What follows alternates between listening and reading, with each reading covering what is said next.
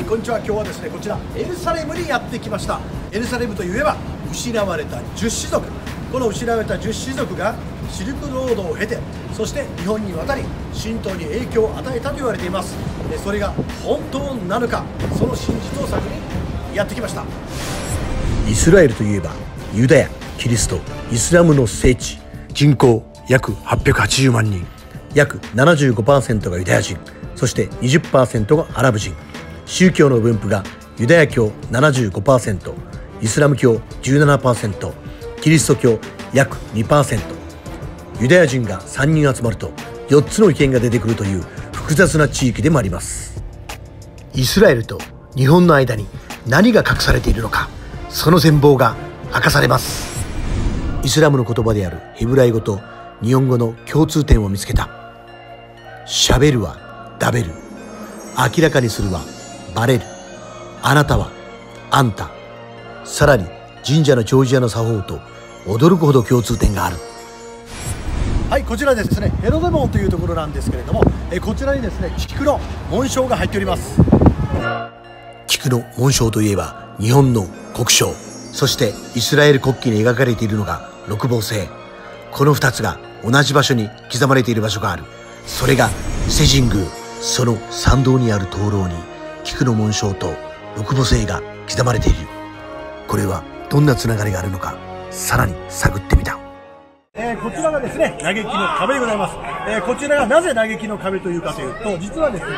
あの壁の向こうに、えー、ソロモン王が作った神殿があったんです。それがユダヤ戦争の時にローマに、え滅ぼされて、そして神殿が崩壊され、それを嘆いているというね、そういう壁です。はい、えー、今から嘆きの壁に入っていきます。えー、中に入るときはこのね、キッパというのを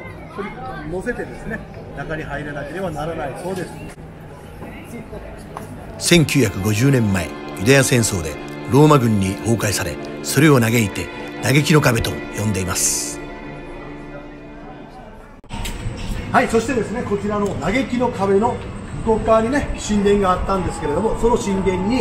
ヤファウェイというですね、えキリスト教の神様またユダヤ教の神様そしてなんとイスラム教の神様が祀られてたんですね。実はですねこのヤファウェイなんとこのアメリカ札に描かれています。ここにですねあるピラミッドこの形のこの上にある目これがですねルシファーの目と言われてますが実はこれはヤファウェイの目であります。なんとこれが我が国日本のお札。これ野口英世ね千円札に描かれている。なんとこの富士山これを透かしてみるとここに野口英世の片目がここに映られている。ね。そしてこの富士山が下に映ってますけれどもこれをですね逆さにするとちょっと違う山。これがモーゼの10回で有名なシナイ山というふうに言われております、まあ、こういう形でですねいろんなところに実はこのユダヤと、えー、日本また、えー、イスラエルと日本の共通するところがですねところどころに散らばっているという。なんとも不思議です。はい、えー、今来ているのはですねイエスが処刑されたと言われる、えー、聖墳墓教会というところでね来てます、えー、たまたまねジェーン。ジェーンミスえミスジェーンが案内してくれるということなのでで一緒に行ってみたいと思います。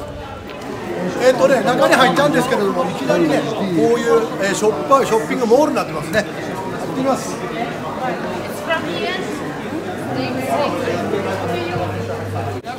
ね、あの街中にはですねこういった感じで、ね、警備が厳重にされてますあのここはですねイエス・キリストが十字架に貼り付けられて、ね、でここを通っていったというねそういう道でございます。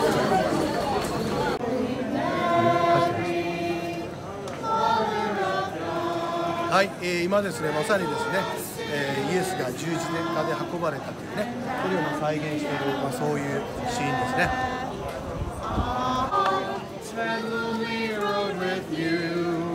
Under the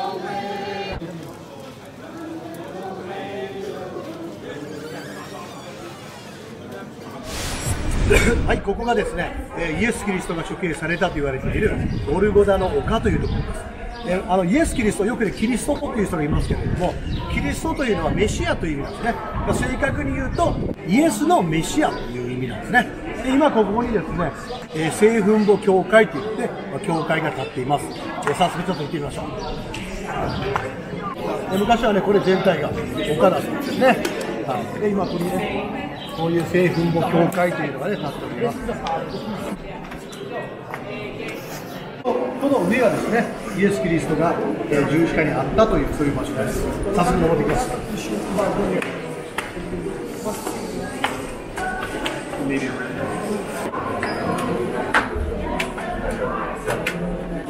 さあどうでしょうこのきらびやかな空間うわすごいね。すごいまずまさにこの場所でイエスがですね、えー、出現されたという場所ですきらびやかな装飾品で飾られ豪華絢爛数十億人の信者を抱えるまさに聖地ですからですね何をするかというとこちらですね当時の丘の丘が直接触れるということですね。はい、えー中にはですねお札がいっぱい入ってました。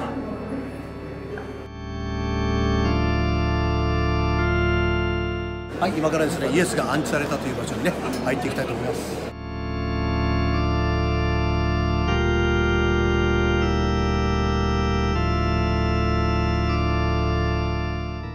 はい、こちらがですね、イエスが安置された場所、そしてこっち。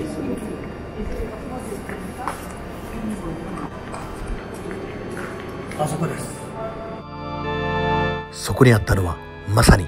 ルシファーの目でした。イエス・キリストの安置所の前にルシファーの目。なんとも感慨深いものです。はいこちらはですねイエス・キリストが最後の晩餐を行ったというねその場所であります。行ってみましょうそうこの場所はイエス・キリストが最後の晩餐を行った。その場所である。行ってみましょう。はいここがですね最後の晩餐を行った場所です。もともとここは、えー、ローマの十字軍が作った、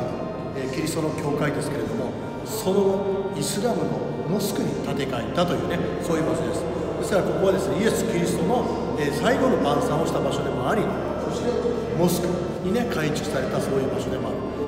モスク時代に刻まれたアラブの文字もそのままです。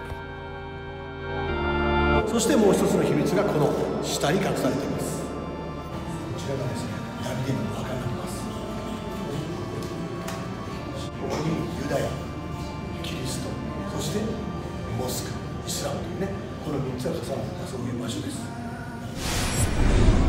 はい、えー、このねエルサレムの要の祭りはこちらシオン。です、えー、シオンというのは ZION これをローマ字読むとギオン。そう。京都で行われるですね祇園祭り。あの祇園祭りというのは八坂神社がやってますけれども八坂神社は、えー、明治までは祇園社という名前でした、ね、そして明治以降今八坂神社となっております、まあ、このようにですねイスラエルと日本、ね、この2つにつながりをまだもう一つ発見しました。はいこちらエルサレムいかがだったでしょうか、えー、失われた十種族が日本に渡りそして神道に影響を与えたと言われております。え今回ですねいくつもの、えつながりを見つけることができました。そしてですね、え日本に渡った、え十種族は旗内という名で、え日本に渡来人として渡ってきたというふうに言われております。その旗内がですね祀られている神社が稲荷神社です。今、え日本に約4万社あるというこの稲荷神社。でそして今回ですね一つの大きな発見をしましたね、ダビデ六母星そしてその上にキリストの十字そしてイスラムモスクの月。これが一つになった文様。そう。フリーメイソンです。そのフリーメイソンがですね目指すものは、宗教の垣根を取って、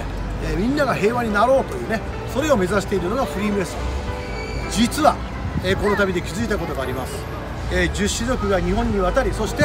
日本の地で目指してきたものそれが実は日本ですでにできている。宗教の垣根を取った平和な国